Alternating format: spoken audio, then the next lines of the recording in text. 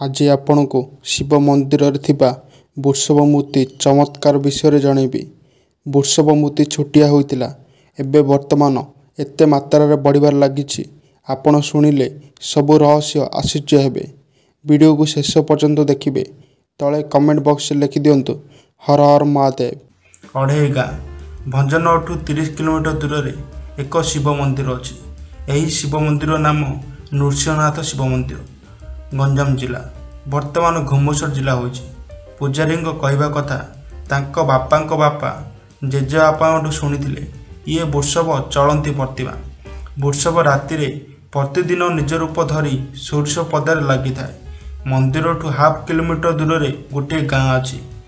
ତାଙ୍କ ବାରିପଟେ ବିଶାଳ ସୋରିଷ ଗଛ ଲାଗିଥାଏ।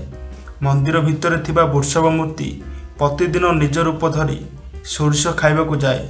ପୁଣି ମନ୍ଦିରକୁ ଫେରି ଆସି ମୂର୍ତ୍ତି ବନିଯାଇଥାଏ ଏମିତି କିଛି ଦିନ ଗଲା। ସବୁଦିନେ ସୋରିଷ ଖାଇବାକୁ ଯାଇଥାଏ।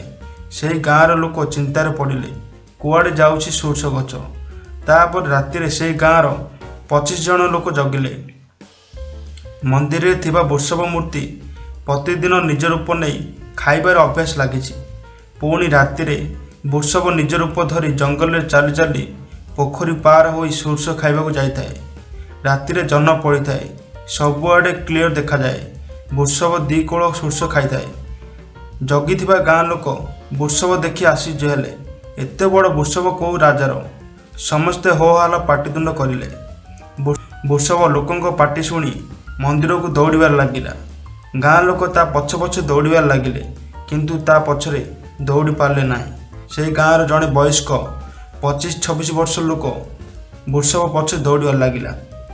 ବୃଷଭ ଦୌଡ଼ି ଦୌଡ଼ି ଆସି ମନ୍ଦିର ଭିତରେ ପଶିଗଲା। ସେହି ଲୋକ କହିଲା କ'ଣ ଶିବ ମନ୍ଦିର ଭିତରେ ପଶିଗଲେ? କ'ଣ ଆମେ ତତେ ଛାଡ଼ିଦେବୁ? ତାପରେ ବୃଷଭ ଧୀରେ ଧୀରେ ମୂର୍ତ୍ତି ରୂପ ନେଲା ଆସି ସେ ଲୋକ ଠେଙ୍ଗାରେ ବାଡ଼େଇ ଦେଇଛି। ତାପରେ ସେ ଲୋକ ଦେଖିଲା ଆସି ବୃଷଭ ମୂର୍ତ୍ତି ବନିଯାଇଛି। ବୃଷଭ ମୂର୍ତ୍ତି ପିଠି ଟିକେ ଫାଟିଯାଇଛି। ସେହି ଲୋକ ଆଶ୍ଚର୍ଯ୍ୟ ହୋଇ ଗାଁ ଲୋକଙ୍କୁ ଡାକି ଆଣି ଦେଖାଇଲା। ପୂଜାରୀ କହୁଥିଲେ ଛୋଟବେଳେ ବୃଷଭ ମୂର୍ତ୍ତି ପେଟରେ ମହୁ ଭରା ହୋଇଥିଲା। ତମ୍ବା ପଇସା ପକାଉଥିଲେ। ଦର୍ଶକ ବନ୍ଧୁ ଆଉ ଗୋଟିଏ ଚମତ୍କାର କଥା ପ୍ରତିବର୍ଷ ବୃଷଭ ମୂର୍ତ୍ତି ଦୁଇ ଇଞ୍ଚ ନାକେ ବଢ଼େ।